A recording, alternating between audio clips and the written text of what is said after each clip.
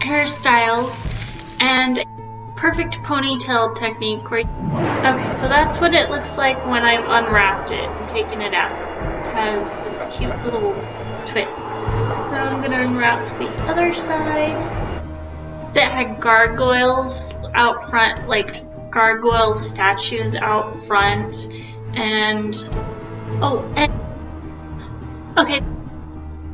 Okay so for the papalette okay there. Is take your okay. And again you twirl that thing. There we go. Hi everyone and welcome back to my channel Runes K Funk today's episode is gonna be on Victorian rag curls.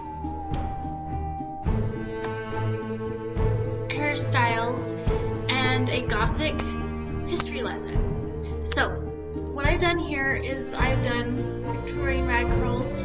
I used the perfect ponytail technique where you basically take two bobby pins and you stick them on two ends of a hair elastic and instead of stretching the hair elastic over your ponytail or whatever, you take one end, you stick it through your ponytail, and then you wrap it around, and you tuck the other one in. Like that. So, you, I did that.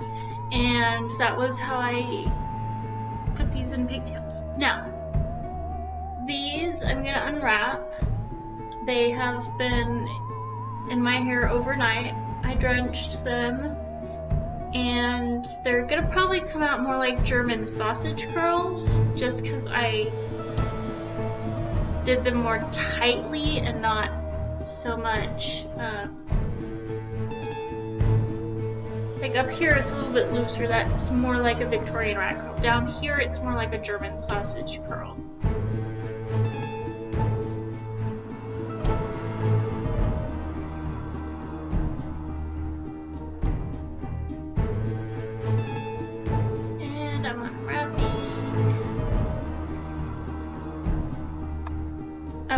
that's what it looks like when I've unwrapped it and taken it out. It has this cute little twist. Now I'm gonna unwrap the other side.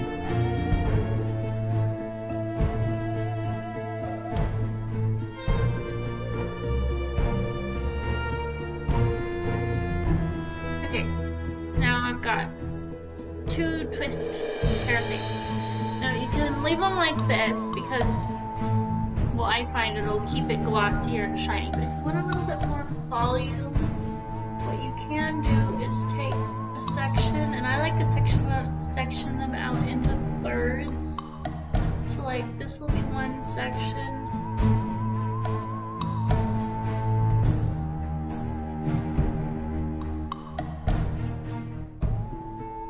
That's not coming apart the way I wanted to. There we go. Here's one section.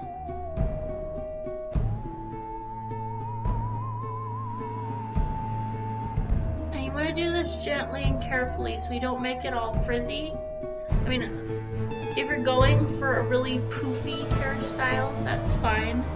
And if you're gonna go for poofy, you can brush it out with one of these. But if you want it to look more like this, I recommend just separating them. And if you have to comb it, use one of these because it's a wide tooth comb and it's less likely to frizz. And if it does get frizzy, what you can do is comb it with one of these and then um, put some oil on it and then rope braid them back together like that.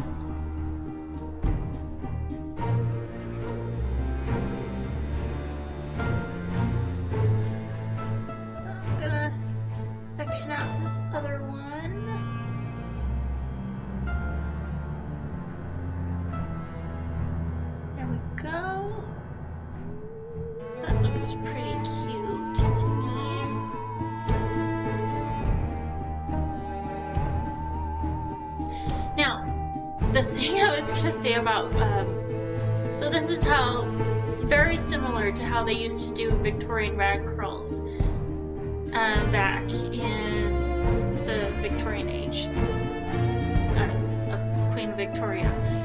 And, um, it's similar to the sausage curls the way I started out in the beginning without separating them. And that would be like a German sausage curl. And the history lesson was that the term Gothic, in the archaic sense, didn't mean uh, teenage boys and girls with a ton of black makeup, with black hairstyles, black clothing, or maybe some unusual hair dye like crayon red or dark purple for their hair color. It meant one of those creepy old castles where they had like where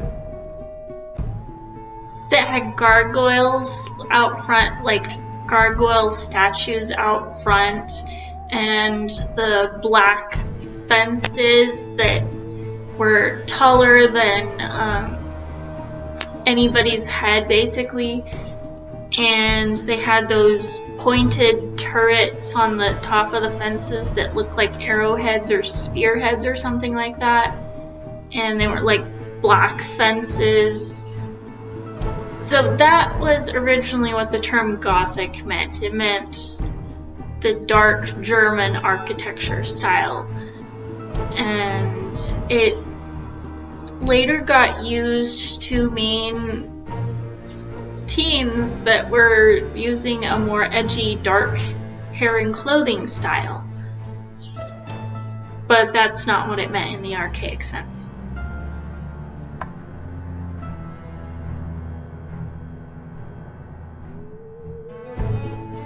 Oh, and about the Victorian rag curl fabric, it can be any type of fabric you want to use. Basically, I chose cotton strips, but they do need to be about four inches wide. And the length of your hair doubled. So, like, if your hair is this long, it needs to be twice that length plus a little bit more so you can tie it at the top. Um, I might actually show you how to put it together in another video. But, um, oh, I was going to show you how to do papalet curls. Okay, so you probably can't tell in the video, but my curls here are, are a little bit frizzy. Yeah, you can see that. So I'm going to add just a little bit of this to it, just near the ends, maybe.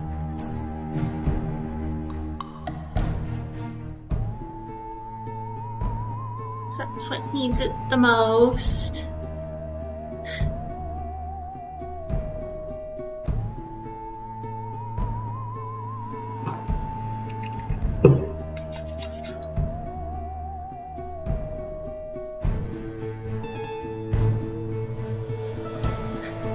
smells really good too. so, um, it's a frizz fixing serum. It's Pantene Smooth Frizz Fixing Serum. It comes in a bottle that looks like this. I'm pretty sure I got it at Walmart. And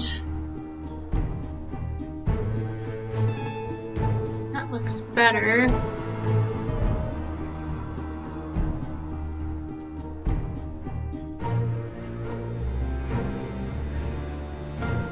Not 100% smooth, but a little bit better at least.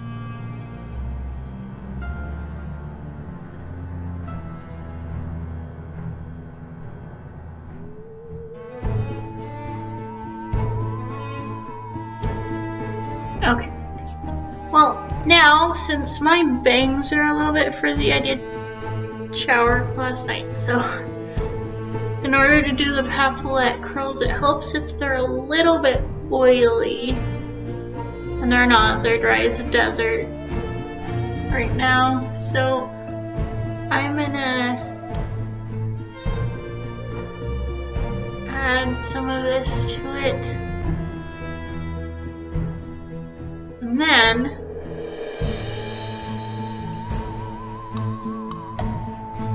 what you want to do.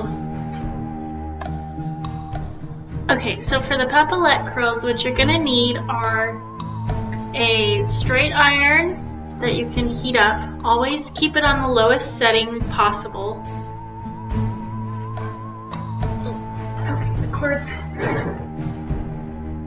Okay, there we go. It's on level two. And it, it needs to be heated up. And then you're gonna want either a sheet of paper towel or some tissue paper, but it has to be something that can be slightly stiff. So if you're going to use paper towels, make sure they're like the kind that come from vending machines and not the kind that you buy in a roll at the grocery store because those are a little bit too much like toilet paper and flex a little bit too easily. So what you're going to want to do is take your paper towel or tissue paper and fold it so that it makes a triangle. And if it's some weird shape like this rectangle, you can um, fold it so that you can tear a sheet off. So there we have our triangle. And then you want to fold it again, depending on how small you want the curls to be or not. So like, I want mine, and you want a, a triangle for each of each section of hair.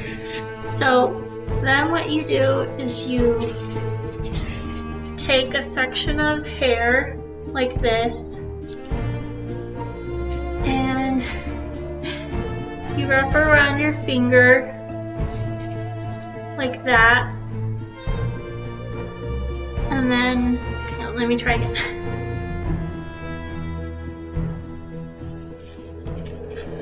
there, so you can see.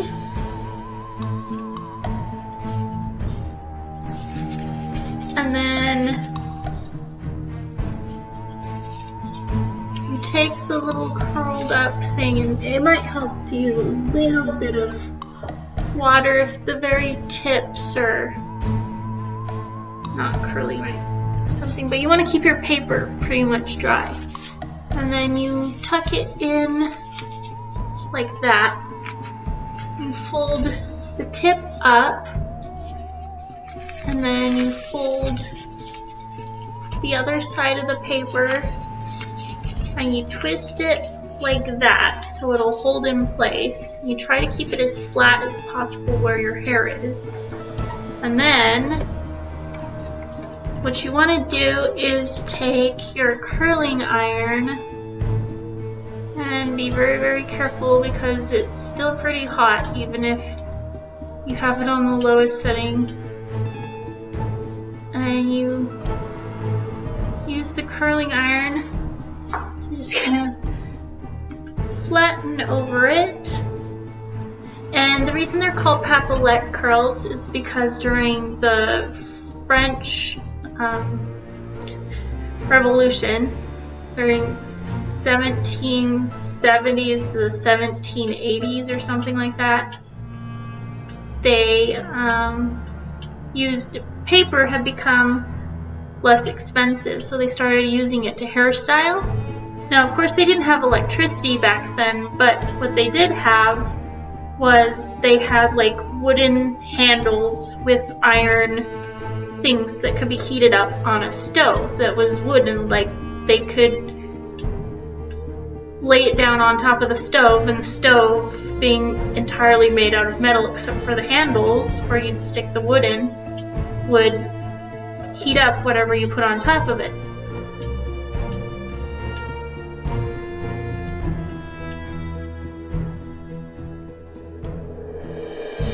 And sometimes if they were like going, if someone was going to a party or something like that, they would actually leave it in the paper till they were going to be going out the door. You might want to wait till it's done cooling to touch it. But if you, when you want to take it out, you just pull on this little tail here, and then you have a curl. Now mine didn't turn out exactly how I wanted it to, so I'm just gonna separate it out a little bit. Maybe add a little more oil. Or I can curl it again.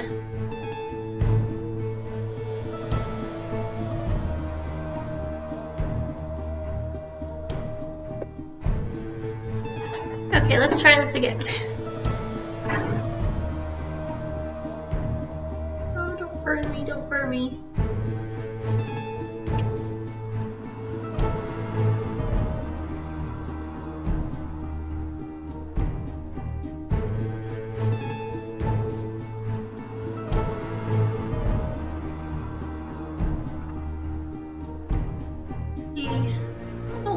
Looks pretty darn good.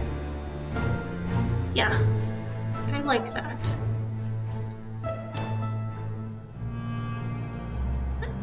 Okay, let's try the other side. Sometimes it helps if you use a little bit of water instead of a little bit of oil. Especially on the tips. So...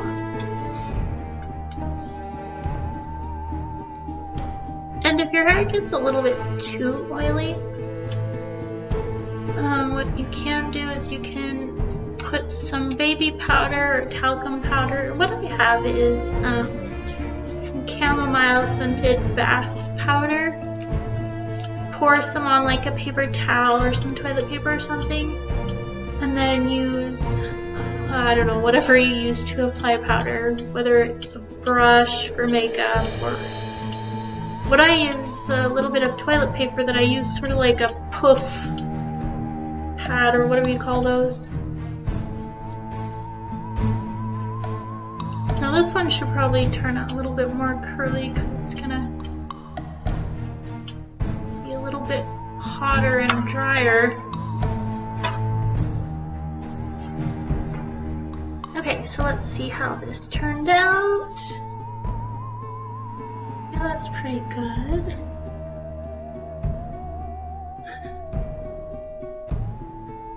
Little bit too curly.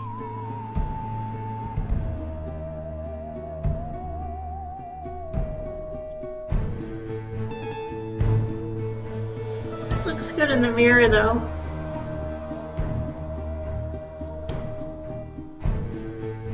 Um, with this one I added a little bit more water so it was a little bit damp already. Let me see if I can, um, it looks good on green. Doesn't quite match up with this one, so I'm gonna try curling this one again. And this is the Papillette paper that I used. This is how big it is. It's about, I don't know, three inches here, about two inches here and here. And I folded it up about an inch here and about an inch there. And again, you twirl that thing around your finger and then you sort of slip it off your finger. And then you tuck it in this thing or something like this and then you use the hot iron. We go, that's how this one turned out. Probably look pretty even. Nice curls. So anyway, that's the end of the video. If you liked this video, don't forget to like, thumbs up, click subscribe down in the butt, click on the button, and I'll see you in the next video.